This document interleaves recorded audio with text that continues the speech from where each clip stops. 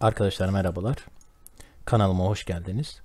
Ee, bu videoda Kant'ın ahlak felsefesi alanındaki görüşlerine kısaca yer vermeye çalışacağım hızlıca. İşte nominal, fenomenal dünya kavramlarına, bilgi felsefesi alanındaki, varlık felsefesi alanındaki görüşlerine girmeden, tabi bunları da esas alarak ahlak felsefesiyle ilgili neler söylemiş onu anlatmaya çalışacağım.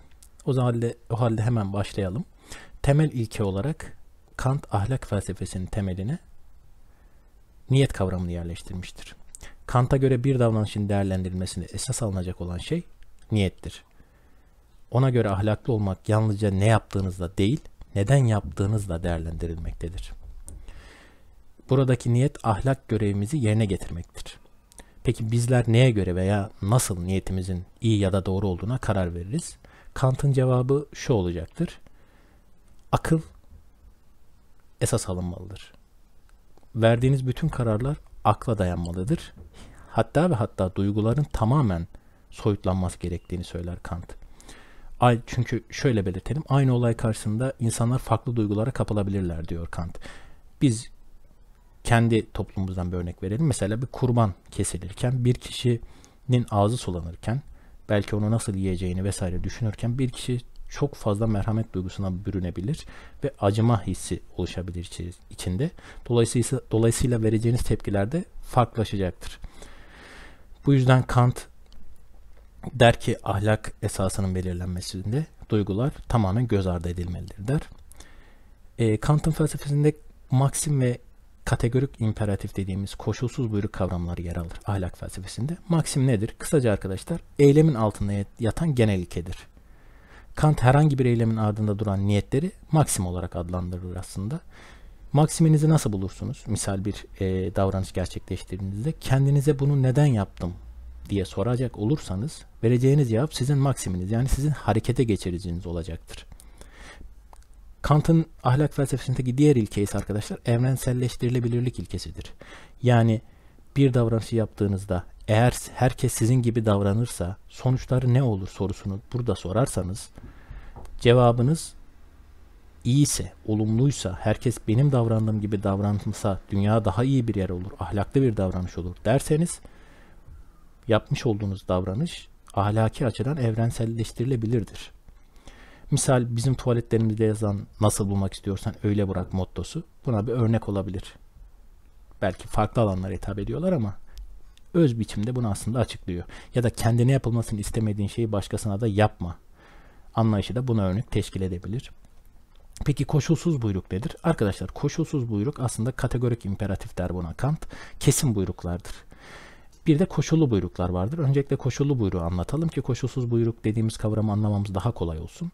Koşullu buyruk arkadaşlar A'yı istiyorsan B'yi yap gibi ifadelerden oluşur. Hemen somutlaştıralım. Mesela güvenilir bir insan olmak istiyorsan asla yalan söyleme koşullu bir buyruktur. Buradaki koşulumuz nedir? Yalan söylememek. Eğer yalan söylemezsek güvenilir bir insan oluruz. E bunun maksimi nedir arkadaşlar? Yani harekete geçireceğimiz niyetimiz nedir burada? Güvenilir bir insan olmayı istemektir. Kant'a göre bu ahlaksızca bir davranıştır. Çünkü bir çıkar vardır burada. Kant der ki insan ahlaklı davranmak istiyorsa koşulsuz buyruklara göre hareket etmelidir. Yani A'yı yap. Nokta. Peki Kant'ı aynı örnekten bunu nasıl çeviririz Kant'ın felsefesine göre? Yalan söyleme der Kant ve burada noktayı koyar. Herhangi bir beklentin, herhangi bir amacın olmamalıdır der. Peki bu emirler doğrudan nereden gelmektedir? Kaynağı nedir diyecek olursanız arkadaşlar, Kant'ın size cevabı akıl tek başına doğru ya da yanlış olanı belirler olacaktır. Dolayısıyla Kant ahlakında esas alınan şey kendi aklınızdır. Duygularınız ve sizin sahip olduğunuz bir takım düşünceler göz ardı edilmelidir. Direkt aklı esas almanız gerekiyor. Sizin burada düşüncelerinizden kastım kendi hayatınızı özgü düşüncelerinizdir. Yani, yani öznel, evrensel olmayan düşüncelerinizi göz ardı edip herkese göre doğru olan şeyi yapmanız gerekmektedir der. Burada bir örnek vermek gerekirse arkadaşlar, e, Kant mesela evinizin kapısını hiç beklemediğiniz bir anda şey, bir anda çaldığını düşünün der evinizin kapısının. İşte karşınızda bir kadın vardır. Kocası tarafından dövülecek bir kadın vardır. Bu kadın kocasının size peşinde olduğunu söyler. Yüzü gözü morluk içindedir. Ve siz onu evinize alırsınız. Ardından Kocası kadını görür, sizin evinize doğru yöneldiğini görür ve kapınızı çalar. Eşim burada mı diye size sorar. Sizin burada Kant'a göre yapmanız gereken şey nedir? Belki de kadın ölme riskiyle karşı karşıyadır.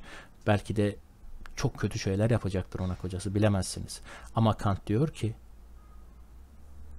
siz her zaman doğru olanı yapmalısınız. Yani burada yalan söylememiz gerekir ve kocasına kadının içeride olduğunu söylemeniz ahlaki açıdan doğru olan şeydir der. Unutmayın ki bir eylemin sonuçları ahlaken konuyla ilintili değildir. Cevabını verir. Kant hatta kendi kitabında da buna benzer bir örnek kullanır arkadaşlar. Kısaca Kant'a göre cennete gitmek için ibadet eden, işte acıdığı için yardım eden, ağladığı için emzik veren bir anne ya da saygın olmak için çok çalışan bir insan, yalancı olarak yaftalanmamak için doğruyu söyleyen insanların hiçbiri ahlaka uygun davranmazlar. Çünkü hepsinin ardında bir çıkar vardır.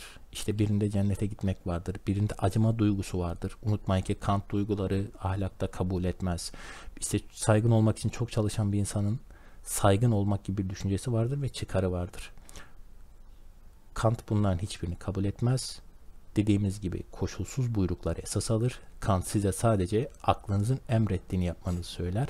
Bu da A'yı yap nokta diye biter arkadaşlar. Bunun hakkında çokça internette ödev ahlakı ile ilgili Kant'ın bilgi bulabilirsiniz. Ben burada kısaca anlatmaya çalıştım. Dinlediğiniz için çok teşekkür ederim. Yeni videolarda görüşmek dileğiyle. Esen kalın arkadaşlar.